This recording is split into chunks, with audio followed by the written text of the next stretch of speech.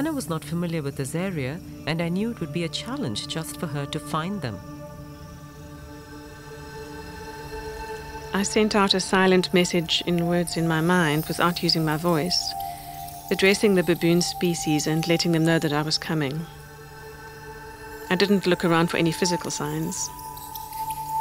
After a few moments of that, I opened my eyes again and just allowed my body to move in the direction that I felt drawn to, almost like an internal sort of radar for baboon energy. And she found the truth.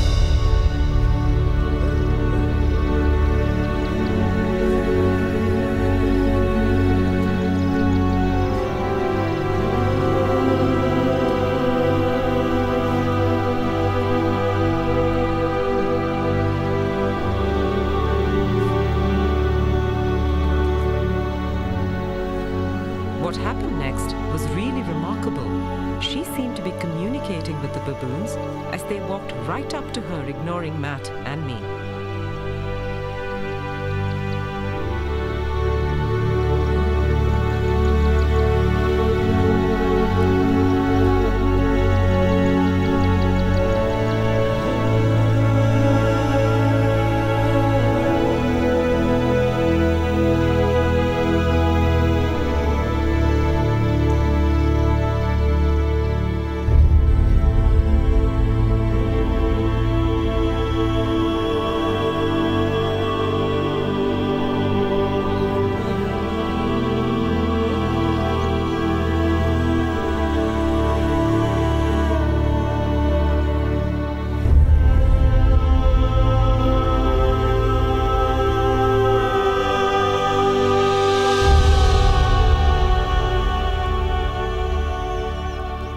You ask me,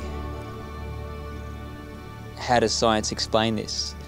I also think of the um, of how it must have been for people back in the 17th and 18th century, and they used to see lightning. But if you ask them, um, uh, do you believe in electricity? Uh, they would have said, no, not at all. I mean, they would have laughed at you.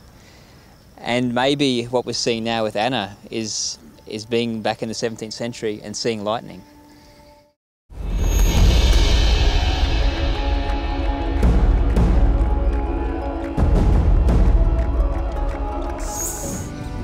Jon is a founder leader of a worldwide movement to help connect people with their natural heritage.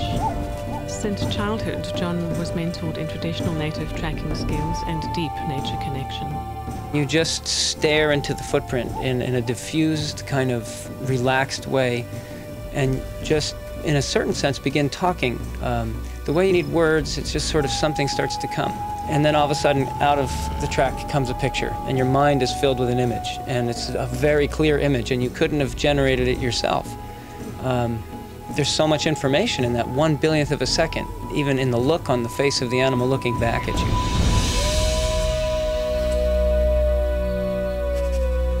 Now, the University of Vermont in the United States has recently asked Jon to create a course in nature connectedness and awareness. It will be a whole new field of study. I also work with Jon around the world to reconnect people with nature and themselves.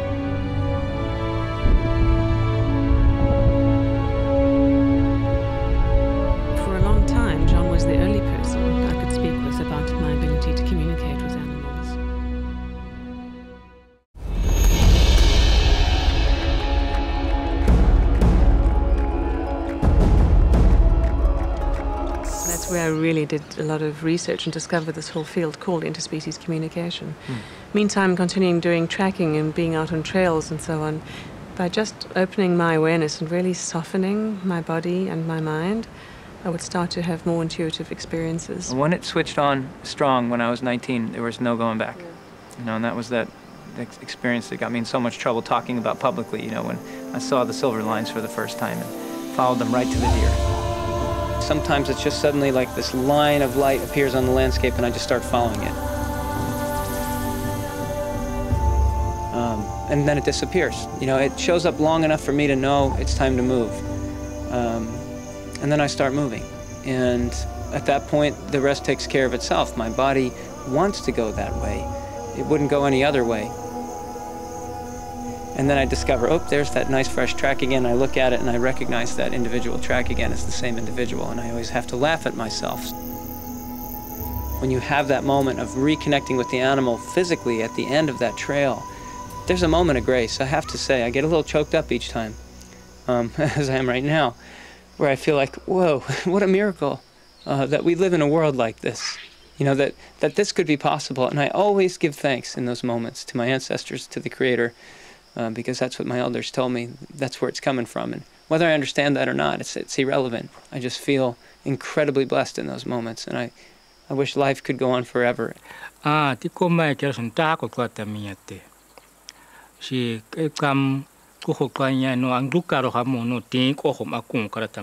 em. Ah, ta a ta ta ko ko ta kya mana ko te ni ko ngi pe pe sai se ve ya. Ta ko ko a ta mi no ke kom ti te se a san ta ta ma ta hi ko am em ka kyam. Ah, man ja ko ho em ta ha ka si onu ku. Ta ta ta ko ta ko ko ta shwe ti te mara. Ke hi ko ve ai ta ko ko ke kam a ta shwe ni. And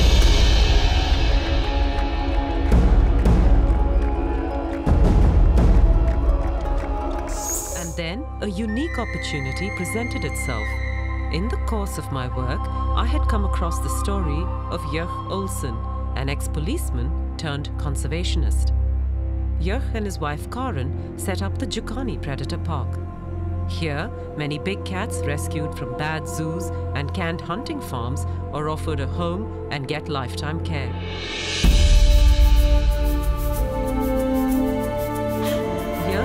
Remarkable relationship with his cats and he handles them in a way I have seldom seen before.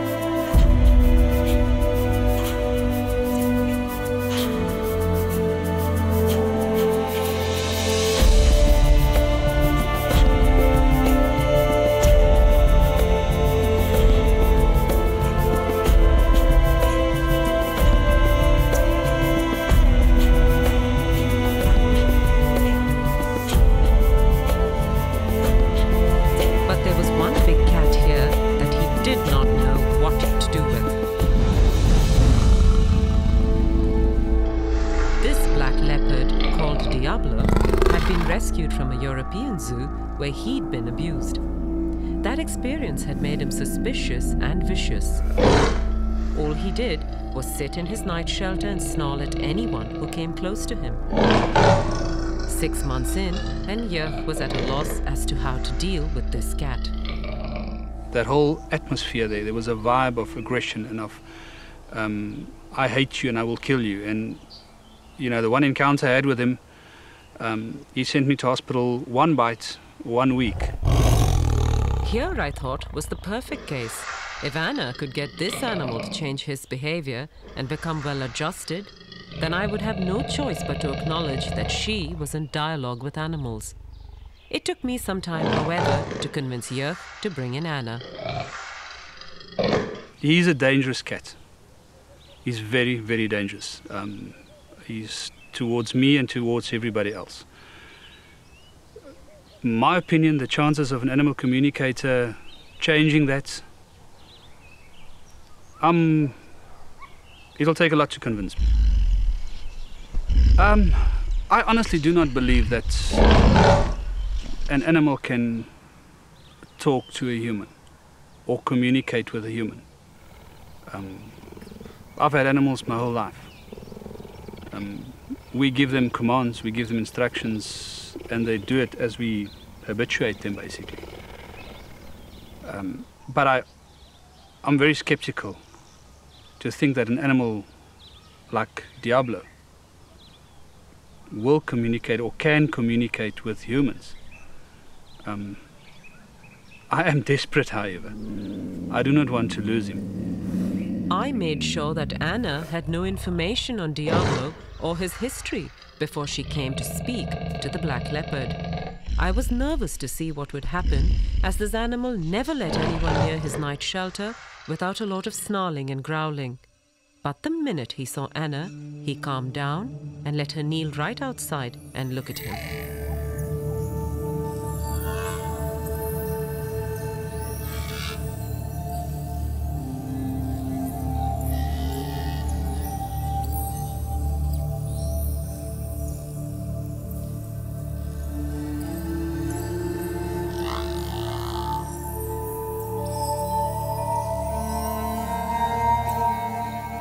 This beautiful black leopard that you've asked us to communicate with is very overawed by his new surroundings, having come from a very uh, cramped and stressful place for him. That this place has been provided for him, but he's been quite conditioned by a very unfortunate past. Um, he doesn't want much to do with humans as a result. He's immensely powerful, and I mean not just physically, which you well know and respect, but he's immensely powerful with uh, a wisdom and an energetic presence and personality that is far bigger than anyone has ever appreciated about him before. And he commands a certain amount of respect for that. Again, not in a needy way, but really just out of, by virtue of who he is as a being. There's a very particular thing about his name, uh, Diablo. He wants that name changed because he doesn't like the associations with it the blackness, the darkness, the diabolical. And when asking him about his past before coming here, he shows concern for two young cubs that were next to him. He's asking what happened to them with a great sense of, of care and concern. We actually forgot about that. When we went to fetch him, there was so much excitement about bringing him back here. Um, it actually slipped my mind until she said, um, he asked about the two cubs. And then we've remembered there were two little young leopard cubs next door to him that came from Rustenburg. And they were sort of semi wild, they weren't hand reared. And it just slipped my mind. And when they talked about it, I couldn't believe, I, I actually did believe it. I mean, then I really believed that they were communicating. Um, and she communicated with him, and when we spoke to her and she relayed all the information back to us, firstly, I didn't believe her. You know, what. Uh, you know, it's things that anybody can think out, and you can think, you know. And then she said something about the cubs that was with him, that were with him. Um, and that changed this whole thing because now all of a sudden, you know, that's something that she didn't know about. And I've also reassured him that you have no demands of him here, that you're quite happy to um, not make any physical demands of him or any expectations for display or interaction, that you're really willing to let him be how he wants to be. And that's given him an enormous sense of relief. Yeah. And having told him that has for the first time made him actually, uh, um, actually genuinely interested in now exploring a bit further. Now that he feels that he's not being asked to come out more, he's genuinely interested in being relaxed enough to have a natural curiosity come out and to actually expand his horizons a bit.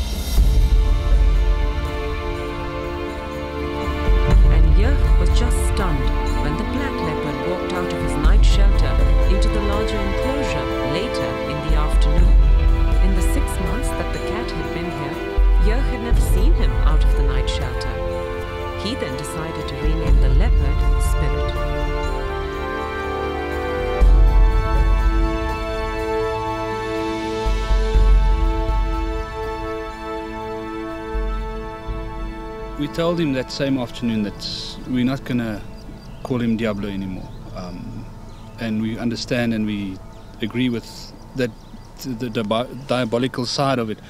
That's not what he is to us. Um, and we'd like to change his name to Spirit. As I walked to him, I thought, listen, he asked about the two young leopards. And I thought, well, I'm here now. There's nobody else here. I'm not going to look like a fool if something, if I, if he ignores me. Um, I'll tell him what, what happened to those leopards. And I told, and as I called him and I said spirit, and he was looking at me, he was lying like that.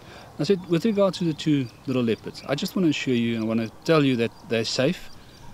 And I couldn't help it. I just said to him, wow, you're beautiful. Beautiful. Oh, that's mooi.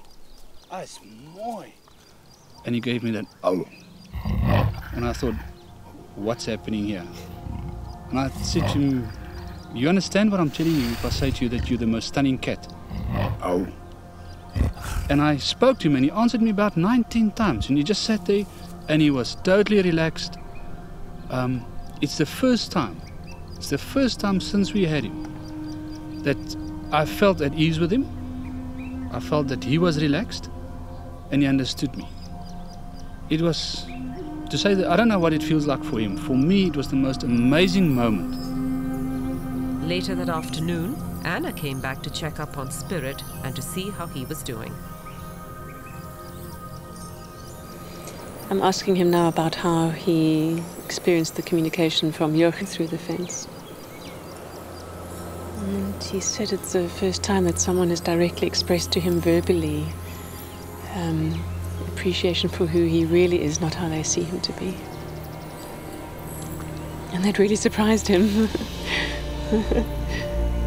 he shows me an image of literally stopping in his tracks by surprise at that sense of just this wall of appreciation coming towards him. He is so relieved that nothing's being demanded of him here. He's just so relieved. It's like this weight is lifted from his shoulders.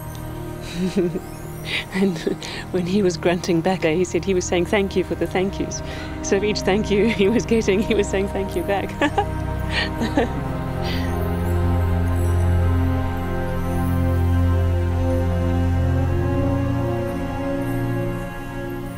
Is there anything you'd like to say about that feedback?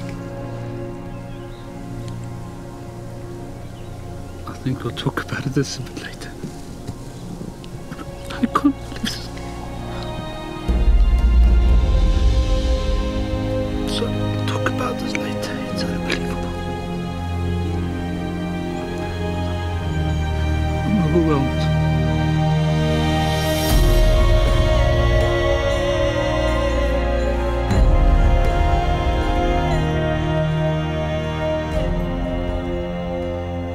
It's two different animals.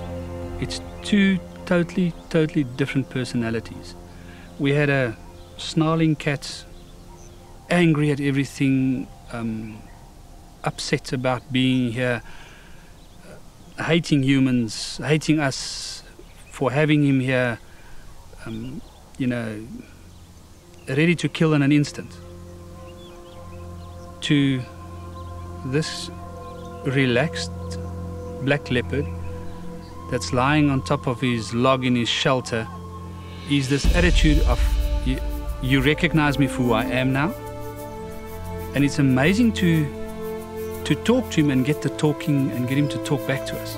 Jurg and Karin attended Anna's workshop on animal communication and now use it regularly with all their animals. He, uh, he changed my whole life. Um, and spirit and animal communication has taught me you know, when I work with, with my other lions, um, the reactions you get, the, the communication you get back, the feelings you get. Um, you know, you get, sometimes you get lions or Queenie, for instance, that's unhappy with something that happened. And I'm not sitting out there wondering what's wrong with her. She tells me, and I can correct it, and I can make her happy because she is in my. I have to look after her. I've got to make her happy um, it changed the whole family.